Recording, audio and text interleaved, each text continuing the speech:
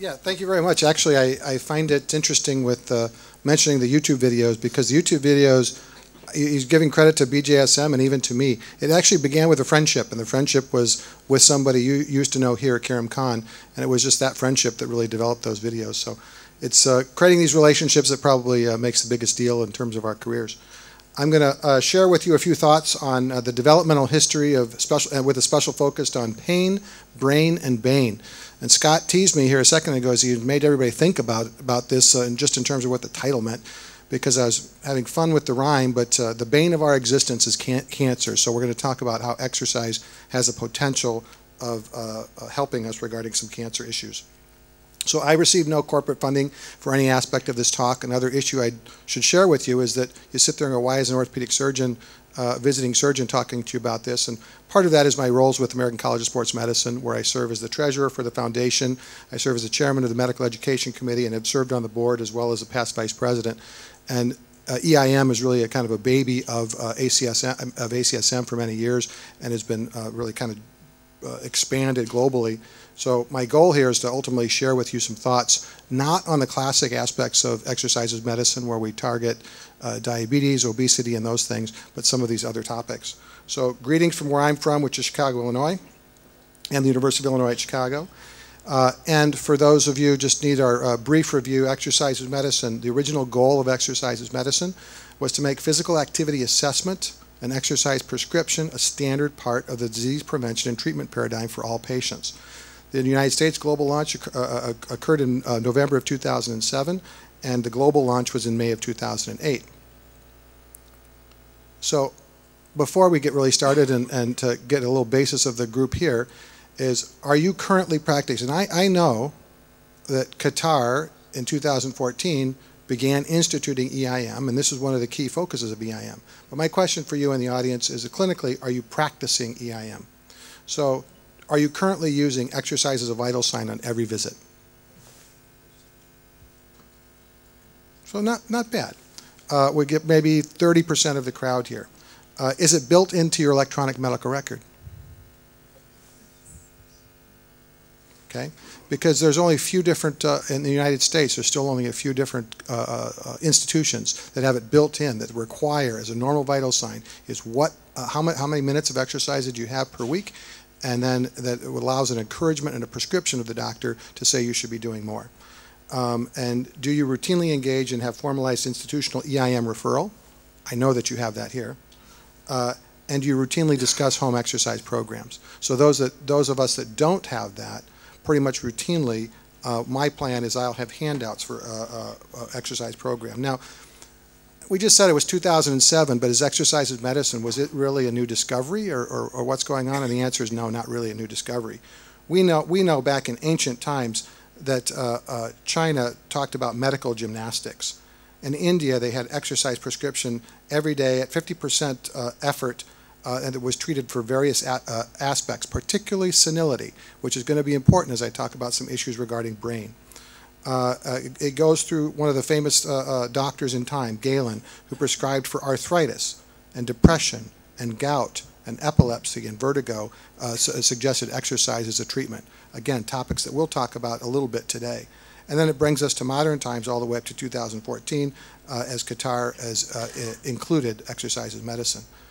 So uh, contributors to overall health status, uh, just kind of a brief review for uh, just going to catch us up over the next few minutes about some of the impact of exercise as medicine, uh, uh, some of the key contributors for uh, overall health status, the power of health behaviors. We talk about genetics, environment, access to medical care and health behaviors, but of the, by, by far the strongest issue, 50% of the impact for healthcare is actually health behaviors. And, and of those, the, the 50%, they're mostly modifiable issues. These include things like exercise, smoking, and diet, which can have a significant impact then on, on general health.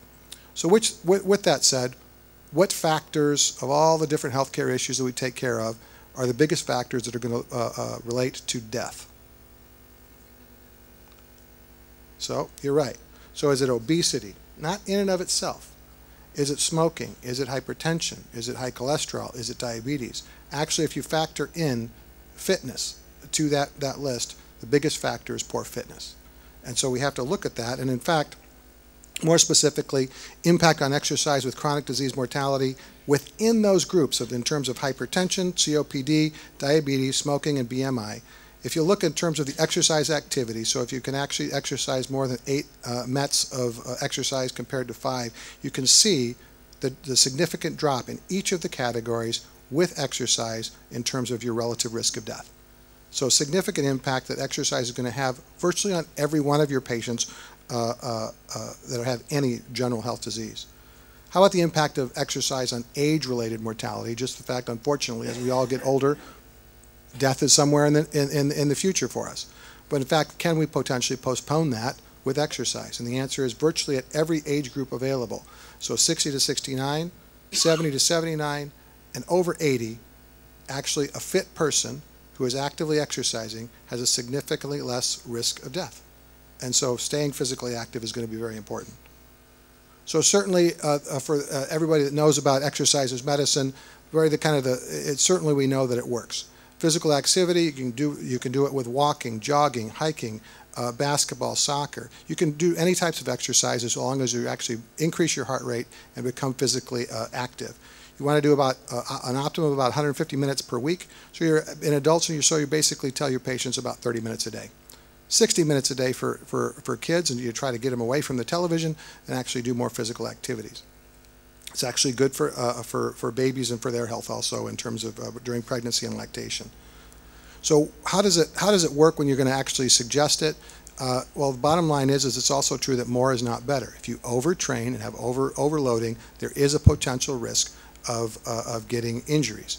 And so the biggest impact by far actually occurs just getting started. So you ramp up in terms of uh, the weekly exercise and the, uh, the benefit is significant. At some point, over moderate levels of activities, then you may increase your risk. But just getting started, doing even 30 minutes a day is going to make a big difference. So in terms of uh, what, in terms of its general indications, and we'll talk about the specific uh, different categories that we that we're that we're here to kind of share with you. Uh, but it can affect all kinds of different things. It certainly targets obesity. It targets uh, diabetes, targets uh, hypertension, heart, targets uh, heart disease. All of these things I think we know and are pretty pretty well recognized. But the surprising ones for me actually is not those things because the diabetes, the obesity, diabetes, all of those things I think are pretty well proven is does it really have an effect on fractures, osteoarthritis, uh, uh, cancer, and a variety of brain problems, uh, uh things like psychologic problems, depression, and actually significant brain diseases. Uh, and those, I think that surprises me as much as anything else in terms of the potential impact for that. So if I'm going to give you one reference, uh, this is a phenomenal reference. I'll leave it up for just a second, but it's and you'll get a copy, I think, of this this talk as much as you want it. And this was an impressive article uh, uh from Scandinavia in 2015 that uh, looked at exercise as medicine and looked at a variety of uh, 26 different chronic diseases. And basically, they walked through all of the different chronic diseases and figured out which of those exercise as medicine had significant impact on. Uh, and some of those are going to include things uh, dealing with the brain and, and pain issues as well as cancer. So as I walk through those different thoughts for you, the, my challenge for you is to look at each of the each of these different topics and say, does exercise as medicine really work? Now we're all we're all we all should be reading the literature. We all should be thinking about uh, good science. And to do that, I would suggest that we uh, try to evaluate this as the what's the best quality. Is this just somebody from somewhere that said, hey, it worked for me? Or is it actually really reasonable evidence that's actually supporting some of the conclusions that we're going to talk about in terms of each of these different uh, disease patterns? And, and so uh, certainly we know this, this triangle that basically says just expert opinion all the way up to systematic reviews, uh, randomized control trials. Uh, the, the better quality of evidence are going to support this the better. So I'm going to categorize that as you walk through uh, you walk through the rest of these talks. Is if you see it labeled in green, that means it's a really good strong support. And if it's red, it's probably a little bit less, red or orange. Yellow is somewhat in the mid, uh, middle in terms of its quality. So uh, we're going to talk about bone and joint health, chronic pain, some neuro, uh, neuropsychologic issues, as well as cancer. So, example, osteoporosis. Does exercise in medicine have any significant effect on osteoporosis? 68-year-old woman with a history of lumbar compression, uh, fracture, as well as a distal radius fracture. Is exercise in medicine uh, something that's really important for her? Well, what we know is that osteoporosis has a variety of risk factors, including alcohol, corticosteroid use, calcium, estrogen, smoking, and sedentary lifestyle. And so certainly not having a sedentary lifestyle and being active is going to address one of these factors that increases your risk of osteoporosis. Well, how about, what about the cost of treatment? If we looked at cost of treatment that everybody else is using for, uh, or more classic uh, uh, non-exercise medicine treatments are for osteoporosis, they're very expensive. Uh, so uh, uh, Fosamax is up to 1,225 American dollars per year. Forteo, $12,000 per year compared to a home exercise program that if we can actually show that it makes a difference would significantly be more cost effective. So is it? So physical activity and hip fractures, here you can see again looking at our MET hours per week. If we actually increase our activities for total uh, uh, over, over a week, we have a significant relative risk that drops in terms of your hip fractures if you're active over the week. Uh, this was done in a large study, 61,000 postmenopausal women, controlled for all different other factors. So it's really pretty good evidence to support the fact that exercise reduces the risk of hip fractures by about 55%. So building bone can prevent falls. Uh, here's a variety of different studies that support that. And so basically it's very high quality evidence that supports that uh, a combination of resistance strength and aerobic training to build bone and resist bone loss can reduce the risk of stress fractures and fractures in our elderly. Another factor that's probably key in, in terms of other than just the aerobic training as well as strength training is balance training. And so uh, some type of uh, uh, Tai Chi exercises, other sources of uh, balance training also have been shown to have significant effect. So if you can, if you can avoid the fall, then you can reduce the risk of fractures also. So another example, osteo osteoarthritis. 52-year-old male with right knee pain, decreased activities on daily living, is exercise is medicine a reasonable choice for this person and, and exercise? Well, in fact, there's numerous studies, uh, uh, uh, a Cochrane review by Fransen, a variety of other randomized control trials, meta-analysis of randomized control trials that would suggest that there's a high-quality evidence that exercise does have a significant effect, particularly in reducing pain. It's actually been shown to be as effective as non-steroidal use as well as injections Uh, uh, in terms of uh, uh functional approaches for people with arthritis that are not yet ready for total knee arthroplasties. it improves function, it improves quality of life, and improves strength and balance. Now, I think one of the things we'll see kind of consistently over all of these different aspects of exercise as medicine is it improves not only pain or function or these direct targets of these diagnoses, but also improves quality of life. So it actually has a, a, a mental, uh, positive approach to their affect that has an impact on their life. So it can impact all, all, all, all, joints, and aquatherapy, water therapy works particularly well because it actually deloads the joint while working on fitness. How about rheumatoid arthritis? 55-year-old woman with multiple joint rheumatoid arthritis with stiffness in the morning, dysfunction, and chronic fatigue. Is this a candidate for, for exercise medicine? Well, I'm not see. Let's see what the, the, the, the literature would support. Cochrane Review 2013, non-pharmac uh, non-pharmacologic inter interventions uh, for fatigue and RA. It uh, does support the use of exercise for non-pharmacologic uses for, uh, for RA. It improves, uh, improves fatigue. 9% reduction in fatigue as well as improves psych psychosocial changes. Exercise, cycling, strength, training, and weight bearing. A randomized control trial by DeLong also supports uh, a strong use for rheumatoid arthritis. It has a positive impact on bone as well as function for those. How about, how about this 34-year-old woman with chronic uh, diffuse myofascial pain, chronic nonsteroidal use, occasional narcotic use, aches and pains everywhere. So does it work in chronic pain as well as for fibromyalgia? Variety of studies that would support uh, that for these diagnoses, it, resistance training improves fibromyalgia, Aerobic training improves fibromyalgia. Aquatic training improves fibromyalgia pain. And body vibration techniques improve fibromyalgia pain. So uh, the quality of evidence, kind of mid-level, but certainly supports its use uh, uh, uh in those groups. So it, uh, it, improves wellness, physical function, decreases pain, and again, improves quality of life. So it improves their psychologic uh, status um, when they're doing routine exercises. So how about chronic fatigue and migraines? So actually this is more of an example of my, my daughter who actually has uh, chronic migraines and can exercise pot potentially work. So 25-year-old woman with chronic fatigue and recurrent migraines, does it have a, a potential effect?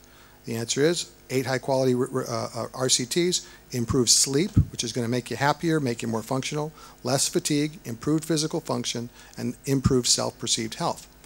Uh, uh, another study compared relaxation, exercise, and uh, uh classic medicine uh, like Topamax, and all three reduced the incidence of attacks, with none being particularly better, which means exercise is as good as medicine or other relaxation techniques. Pretty high quality evidence, and in fact, I mentioned my daughter. Yes, we've strongly recommended, and she she's got in a routine exercise program, and that that N of one, that high quality evidence of N of one, it's worked for her. So she's actually uh, better because of those things.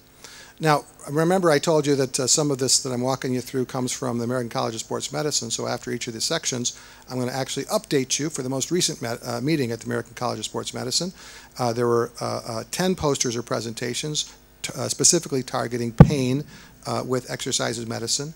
And this, the quality of evidence there was basically mixed and basically suggested that it can serve as a distractor to improve pain, i.e., you may still have pain, but you're just doing more exercises, so you're feeling better about uh, what you're doing and your approach to life.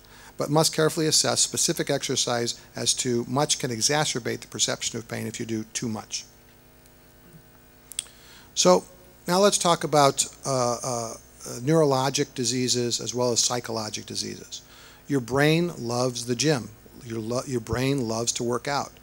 Has a variety of different factors that, uh, that are going to, we're going to walk through the, uh, some specific diagnoses, but what's really going on? It actually increases norepinephrine. It increases BDNF, which is a brain-derived neurotrophic uh, growth factor, which actually actually can improve the number of fibrils and, and uh, uh, neurons in your brain. Uh, the hormones contained within BDNF grow brain cells, regulate mood, provide mental clarity. It actually can increase the size of your hippocampus. Um, it increases the endorphins. We all know when you run, you feel better when you when you have the endorphins. Increases serotonin, uh, which enhances your mood. Increases blood flow to the brain and increases dopamine. So all of these different factors are occurring with exercise, which probably then have uh, uh, positive effects on impact. So we're going to walk through in terms of neurologic diseases and psychologic diseases. We'll talk about some key issues with these neurologic diseases, including dementia, Parkinson's, uh, a little bit on muscular, multiple sclerosis, and maybe some, some on seizures. So how about a 58-year-old attorney with a family history of Alzheimer's? Increased forgetfulness, he's hunting for words. Can exercise help that person? I mean, is that is that something we should do, or is it uh, is Alzheimer's inevitable? Uh, uh, what, what, what can go on. Well, in Alzheimer's, 3% uh, of the population over age 65, but if you actually, it's up to 47% over age 40 have some sort of dementia.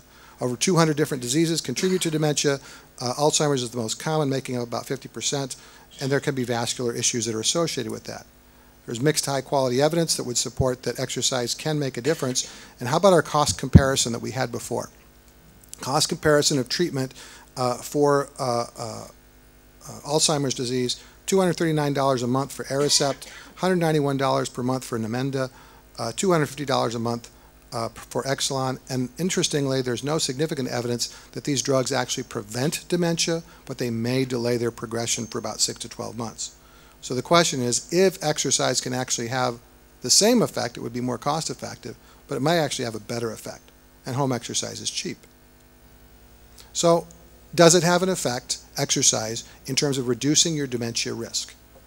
Well, if you actually exercise more than three times a week, this was a study of 1,740 uh, men and women over age 65. In fact, just looking at their exercise habits, and you can see the significant decrease uh, or the, the, the, the improved risk, risk by doing exercise more than three times a week. Relative risk of dementia progression over time, 40% decreased risk. Um, we know that uh, uh, it, it a variety of now other quality studies. Remember, the green is really good. So these are meta-analysis, RCTs. So the green is good. Uh, it reduces vascular dementia risk, 28% decreased risk with high-intensity training, and there's persistent, vigorous exercise is protective. Absolutely pretty, pretty shown that continued exercise is going to help your brain over the long term and prevent potentially the risk of developing dementia. Just another pattern in terms of how, the, how this goes on it decreases cortisol, decreases some of these other risk factors uh, in terms of de decreases your risk of diabetes, uh, dyslipidemia, obesity, hypertension. It decreases those things. It then turns around and gives you a positive overall fitness that decreases your risk of getting Alzheimer's. But it improves your, uh, your CSF blood flow and your CSF flow. By doing that, it decreases your beta amyloid. Beta amyloid is the, the, the junk that gets left behind with chronic changes that probably is associated with, uh, with dementia. Uh, uh, so very, very positive effect with exercise. How about in terms of treating dementia? Now, unfortunately, you have dementia. Can exercise particularly help that? Now, there's less quality evidence in terms of actually improve your improve your cognition, but ultimately, it does show that exercise in for for somebody who has dementia improves cognition, improves improves activities of daily living, and improves their strength. So mixed mixed results if you actually have dementia, but probably has a positive effect. And more specifically, here's some other factors. It does increase your hippocampal size. it increases BDNF, which we've already said is going to improve the uh, uh, uh, good hormones in your brain, which probably has a positive effect. and it improves your spatial awareness, which then decreases your ability, your, your risk of fall. And probably another interesting fact for dementia and probably a lot of our psychologic diseases is actually by doing exercise, it reduces caregiver burden. So you have family members and things like that that have to help with the, the dementia. The exercise actually uh, improves their, uh, their risk and load. Um, so uh, here's the Alzheimer's Association of International Conference in 2015.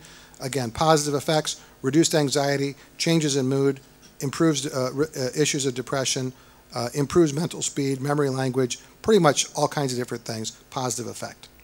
So what would you want to prescribe? Uh, you want to choose enjoyable activities to improve compliance. Group exercises for dementia patients seem to have a good social motivation. Uh, you want to uh, have daily routine or at least more than three times a week.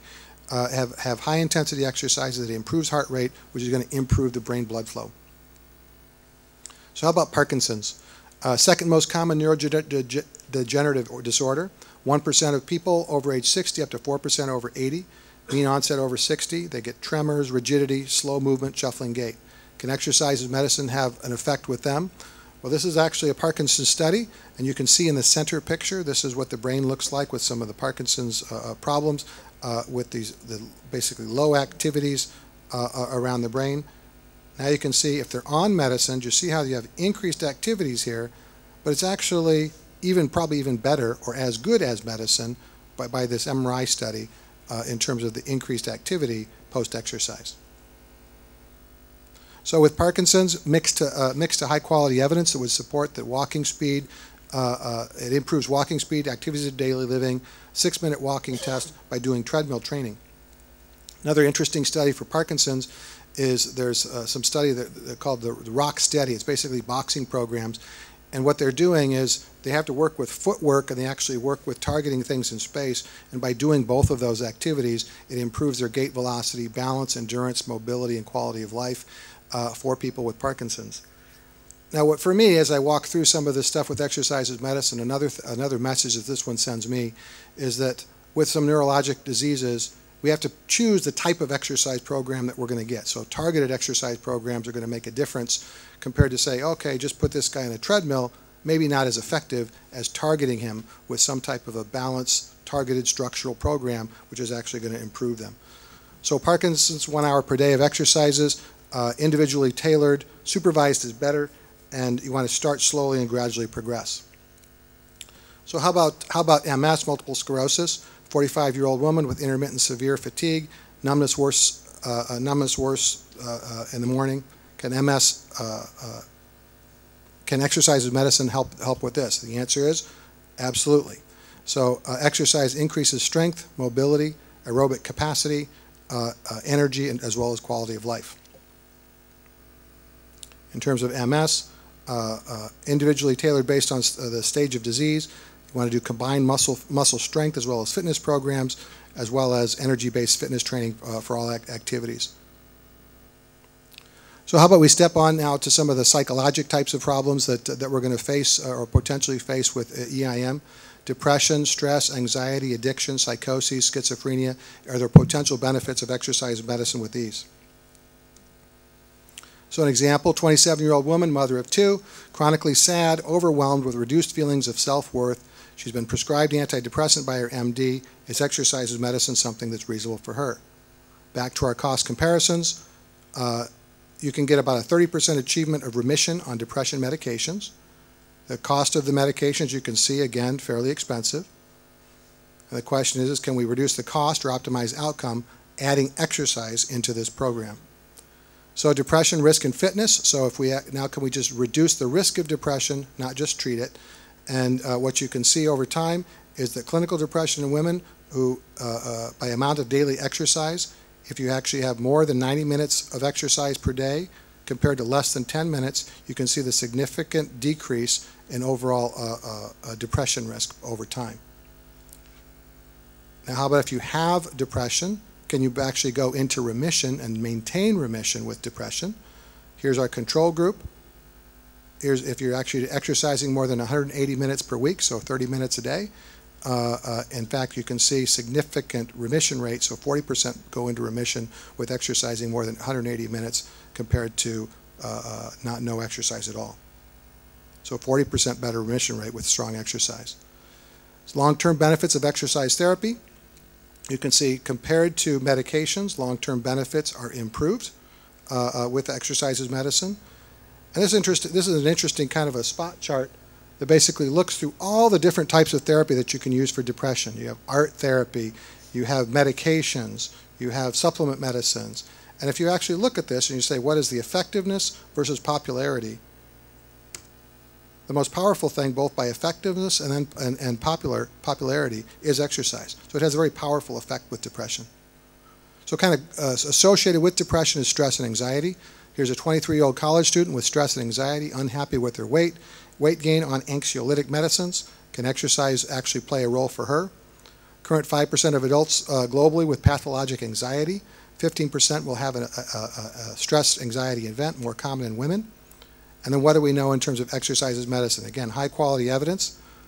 There's if with reducing stresses versus exercise, exercise helps reduce stresses, particularly stronger for depression. We said the evidence was strong for depression, but certainly a positive effect also with anxiety. So here you can see uh, uh, in terms of stress and anxiety, uh, fitness is related directly to anxiety, reduced anxiety with exercise, improves fitness, improves aerobic uh, uh, treatment, as well as Qigong, all actually have a positive effect, all of these different uh, types of treatments. In terms of how, how much you should do uh, for to, uh, to target stress and anxiety, about one hour per day, uh, 30 to 60 minutes per day. And the goal is on this Borg scale to be somewhere between 15 to 16, which means you're actually putting in a pretty strong effort of exercise to get to that level. So how about uh, some true psychologic issues like uh, schizophrenia, uh, which is integration dysregulation syndrome. I, I, think I probably still call it schizophrenia, but that's, that's the, the accepted name now. 38-year-old man with a history of schizophrenia, unemployed, but living on his own, recent decline in function. Uh, fairly common, 24 million, peel, uh, uh million people, low em employability, 25% uh, can recover completely, 50% uh, recover socially, and 25% become dependent. So how about exercise for these? A variety of different studies, pretty high quality evidence that would support the use of exercise in people with schizophrenia. So positive effect of outcome versus exercise. It improves daily function, improves cognition, improves, reduces stress, improves concentration, improves sociability, well-being, and once again grows the hippocampus. Interestingly, with schizophrenia, which is uh, this pathologic problem that actually they have hallucinations, they actually have reduced auditory hallucinations also. So exercise can have a big role. In terms of if you had a patient with this type of a psychologic issue, then training is best done in small groups. Uh, uh, so uh, again, socialization seems to be a very positive effect with this group they get positive feedback and it improves their continued uh, compliance and motivation.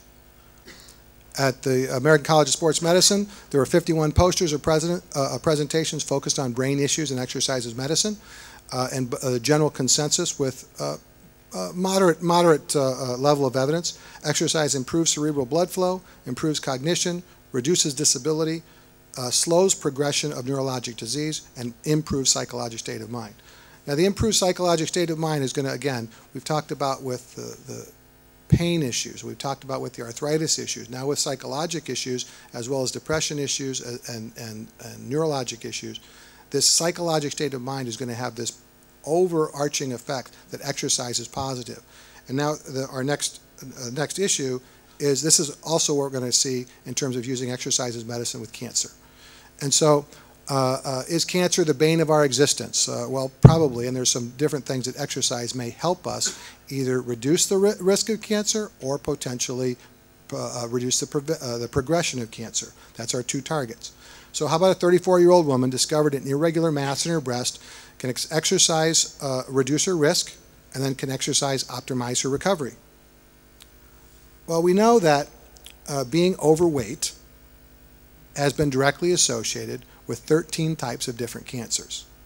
So we're talking about using exercise to fight obesity to try to reduce those potential risks and, and uh, because there is a direct correlation between those. So again, is obesity it or is it exercise? We'll figure this out. Uh, uh, there's emerging evidence in the field of exercise oncology. Uh, uh, this was, uh, you can see the growth that's occurred from 2007 the total number of articles available, and just over the last 10 years, increased number of articles focusing on exercise as medicine in oncology and its potential impact. And this is just the number of randomized control trials, so now we're actually talking even better quality studies. Originally, some were about 76 up to 308 over the last 10 years. So what are some of the potential mechanisms of how this is going to actually work in some of the cancer patients? So increased physical activity actually is going to have all of these potential effects. And our goal here is to decrease cancer risk and improve survival. And it's going to do it by decreasing inflammation, improving uh, hormones, uh, decreasing angiogenesis, decreasing insulin and glucose, increase, uh, decreasing oxidative stress, and changing some of the chemical, uh, uh, chemical functions around the body. All of these things will actually potentially have an effect. So what do we really know in terms of reducing cancer risk? Well, there's really pretty strong evidence that actually in uh, several different types of cancer that physically active lifestyle reduces your cancer risk. Colon, breast, endometrial cancer, prostate, and stomach all are true. If you are generally physically fit and doing exercise 30 minutes a day, five days a week, you're going to have a less risk of getting cancer.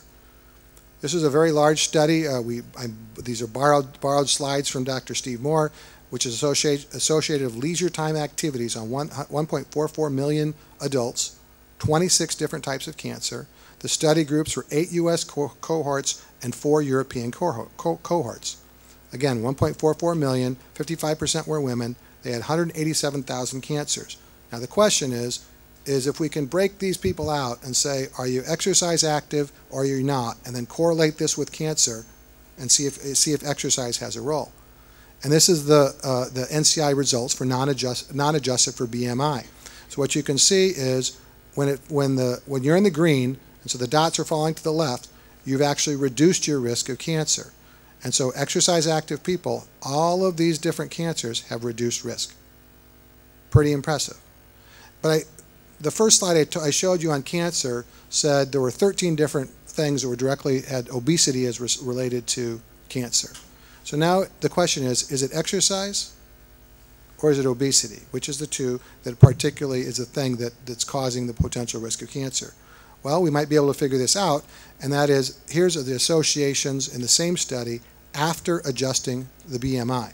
So taking BMI out, averaging that out, what you can still see is that most of them still fall into the this green area that's to the left of the, the left of the line that says exercise by itself, regardless obesity, exercise reduces your risk of cancer.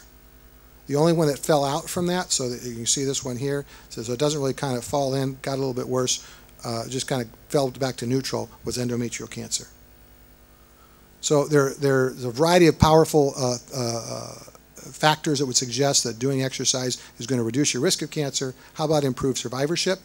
Uh, well, here are some studies that suggest that once you've had cancer and you add exercise to your treatment program beyond the normal treatments, is actually exercise fitness improves the survivorship, particularly in breast and colon cancer, but also in prostate cancer. And then maybe if you had a pre-diagnosis physical activity level, so you're already healthy, then you come up with a diagnosis in lung and kidney, it also shows your survivorship is improved. So uh, then we, we've talked about uh, before in terms of the psychological effect of exercise that probably improves your quality of life, reduces your depression, reduces your anxiety, makes you feel better all around. Well, this is going to have the positive effect uh, that's going to kind of bleed over. If you have cancer and you're doing exercise, it's going to help all of those different things. It's going to help you sleep. It's going to help better fitness. You're going to have better perceived energy. You're going to have less psychological burden, and it's going to overall improve your quality of life. And this has been shown, uh, uh, particularly in breast cancer research, lower quality evidence in children, uh, and uh, so overall positive effect. And this, this, this, these are studies that actually are looking at yoga or Tai Chi as a specific type of exercise program. So how about ACSM uh, as we kind of uh, start winding down? 49 posters or presentations uh, that were targeting cancer. The, the newest president of the American College of Sports Medicine is Katie Schmitz. Schmitz, her actually premium focus is uh, uh, exercise to reduce the risk of cancer and improve cancer over time. Uh, and what we see from the, the group studies of ACSM, exercise influences tumor biology, improves, improves therapy and efficacy and tolerance, and enhances outcome and survivorship for patients with cancer. Here, as you can see, uh, one of the key issues that if you're going to write a prescription for somebody with cancer, you actually have to look at a few different things. If they have lymphedema, uh, uh, if they have stem cell transplants, osteotomies, peripheral neuropathy, uh, bone loss problems, uh, basically the bottom is, is if you're going to write a prescription for somebody of exercise that has a history of cancer, you're going to want to tailor their exercise program. Uh, the goal is going to be a combined moderate intensity program that mixes aerobic and resistance training. But if they had a bone met or bone issues, you may want to do less resistance training. You want to make sure that bone part is healed. You want to avoid exercise during active chemo or radiation, particularly if they're at risk of uh, uh, infection with severe anemia, uh, increased temperatures. Uh, if they have an active infection, you want to avoid it at that time uh, and you want to avoid immediately after surgery. But after that, you want to gradually improve their activities. Uh, yoga type programs seem to have a very positive effect. In terms of the cancer issues, uh, this is a nice reference uh, that basically is shown over the last 10 years, 12,000 pages of systemic, systematic literature reviews focused on the, the benefits of cancer. So as we come to a conclusion, EIM versus pain, brain, and bane, bane of our existence cancer, it's time to get fit. Frequency of physical activity, intensity of physical activity, time spent in physical activity, and the type of physical activity are all going to be important. Particularly in each of those specific diagnoses, you're going to figure out which mix of exercise activity is going to be helpful for your patient. Uh, uh, clearly you can see those different types of activities. Lifting, lifting weights in, increases activities in the prefrontal cortex, improves complex thinking. Yoga again, frontal lobe, insula, uh, integrates thoughts and emo emotions. So all of these different uh, different things may may have a different benefit part, part, on parts of di different parts of the brain or different parts of effectiveness for the patient. Aerobic exercise, sports drills. So thank you for your attention.